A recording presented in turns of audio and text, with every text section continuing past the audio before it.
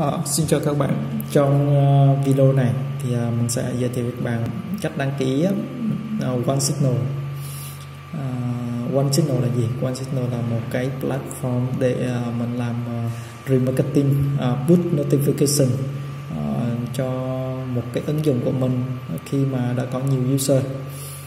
Thì uh, để uh, đăng ký thì các bạn uh, login vào onesignal.com thì ở đây là một cái à, một platform nó khá là nhiều uh, các ứng dụng uh, sử dụng cái um, dịch vụ này để mà mình uh, gửi tin nhắn đến tất cả những cái thiết bị của uh, user của người dùng để mình làm remarketing rất là hiệu quả ha. thì uh, hôm nay mình sẽ uh, bày cho các bạn cái cách đăng ký và sử dụng one signal là gì? Bạn chọn sign up. Ha. sau khi các bạn chọn sign up xong thì nó hiện thì lên một cái form đăng ký. Bây giờ à, các bạn uh, điền uh, địa chỉ email của mình vào ha. Đây địa chỉ email và set up buộc cho mình.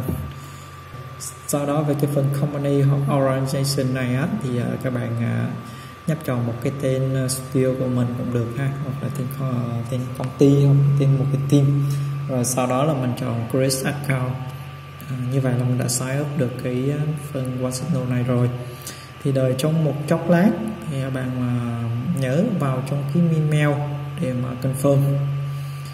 À, trong cái đây là cái cái bạn plan của OneSignal thì mình chọn là free ha. Để mà vào dashboard. Đấy thì uh, nó đã gửi ra một cái mail rồi. Thì bắt mình uh, check uh, cái mail để mình confirm. Đây one signal đây. À, chúng ta sẽ vào trong cái mail này và chúng ta confirm cái uh, tài khoản one signal này là xong. Các bạn click vào cái confirm your account đó. thì uh, sau khi uh, kích xong rồi á thì các bạn uh, đây chúng ta cần phải chọn những cái bước setup này. Thì bây giờ mình chọn cái phần là uh, ví dụ chẳng hạn là product cũng được ha. Ok đến cái phần tiếp theo là uh, mình chọn là entertainment cũng được.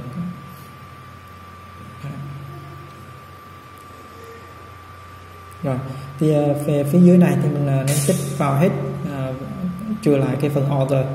Rồi sau đó chúng ta nhấn continue và trong cái mục này nên up your app website này thì mình uh, nhập mình điền một cái tên app của mình vào đây ha. Đấy thì à, cái app của mình thì như là mình điền vào đây sau đó chọn Chris và xây lại ha. Sau khi xây xong các bạn chọn à, phần tắt ra và các bạn chọn phần setup platform.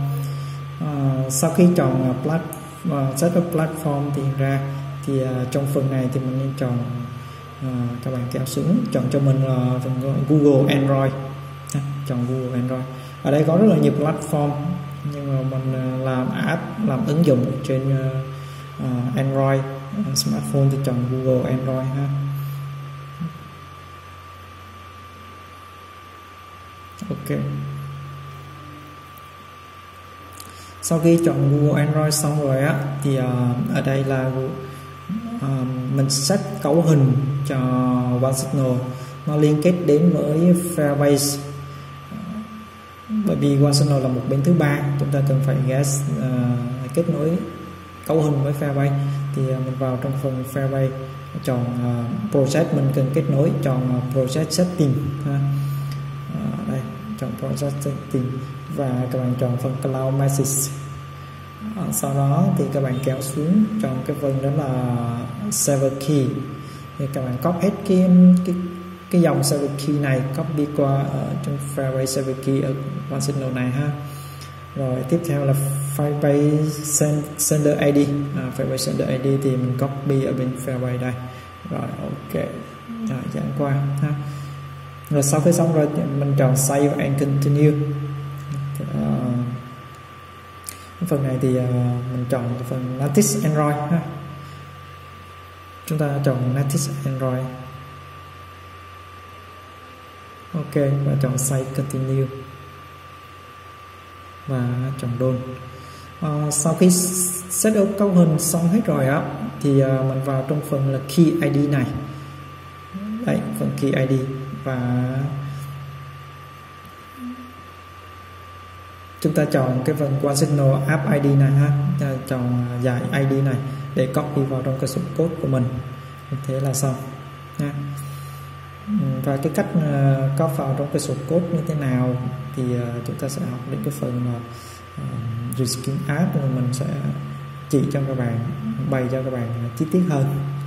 Đó thì uh, ở đây là một cái uh, video hướng dẫn cho các bạn tạo cái tạo cái cái cái phần uh, one signal và à, chúng ta sẽ set up một cái ID thì uh, sau khi đó à, sau này à, tiếp theo là một cái video tiếp theo mình sẽ bày cho bạn à, cái cách à, à bút tạo ra một cái campaign bút notification như thế nào ha.